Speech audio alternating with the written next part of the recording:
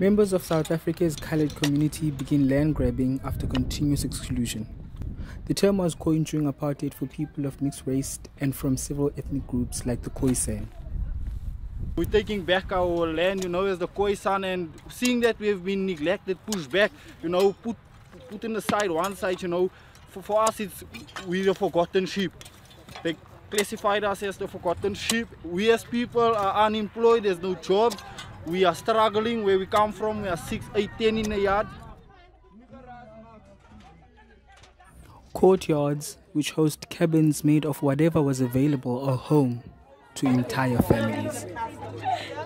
But official figures show that household income amongst the colored community is twice as high as the black majority, who make up 81% of the population.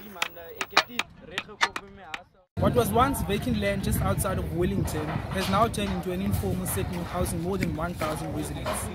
It may not be the leafy suburb of Sandton, Camps Bay, but residents in this area are determined that they have found a new home. Mandisi Soga, CPG News, Cape Town.